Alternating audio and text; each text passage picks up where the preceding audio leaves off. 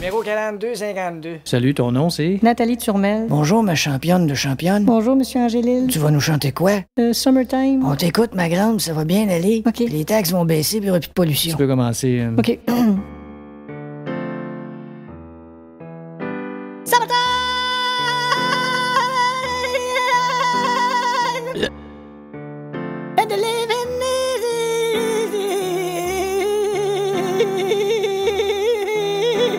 OK, Nathalie.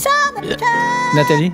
Bon, c'est sûr que premièrement. euh, C'était excellent, ça, ma grande. Ah oui? Excellent. Merci. Ma championne au cube de diva au Corée. Merci, Monsieur Angélil. euh, T'étais à côté de la note pas mal tout le long, hein? ah oui? Oui, puis tu sais, c'est une très bonne chose, hein, ça. Ah, vrai? Quelle note ne rêve pas d'avoir quelqu'un à ses côtés? Il te faudrait beaucoup plus de. C'était très, très bien, ma number one. Merci. T'as de l'autodétermination. Ah, Et Puis ben. moi, autodétermination, c'est le seul mot que je joue au Scrabble, même si j'ai rien qu'une lettre. Ça se peut-tu aussi que t'as roté pendant ton interprétation? Ah, je sais pas. Oui, t'as raté, mais c'était fantastique, c'était dans l'esprit. Euh, Il y a même une comédienne qui est devenue chanteuse jazz qui s'appelle justement Toroté Berryman. tu peux retourner t'asseoir dans l'autre pièce? OK, merci. Fantastique, hein? Maudit que je trippe. Pas fort aujourd'hui. Ah, c'est une excellente journée, Ouais, hein? il me semble qu'ils sont toutes poches aujourd'hui. Ils sont-tu assez en feu? c'est moi, mais c'est le café goûte l'eau de Javel. C'est effrayant, hein? Ce café-là est tellement délicieux. Bon, euh, on est rendu où, là? Ah!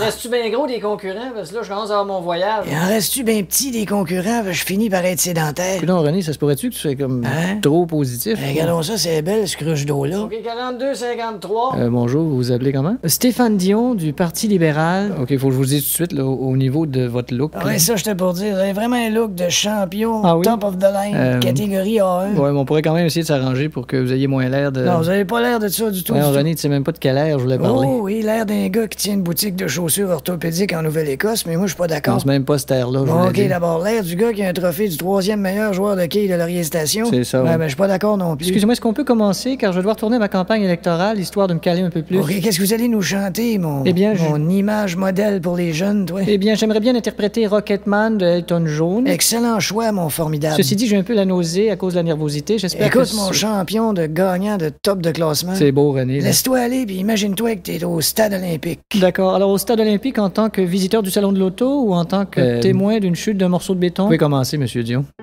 And I think it's gonna be a long, long time till touchdown brings me round again to find I'm not the man they think I am at home. Mon Dieu, je vais vomir. Ah, oh! Euh, je vais vomir. Mon Dieu. Euh, arrêtez. C'était excellent, mon grand. Excellent. Voyons, René, il vient d'être malade, ça scène. C'est ici que prend tout son sens l'expression vomi face à l'acido. Les deux minutes du peuple.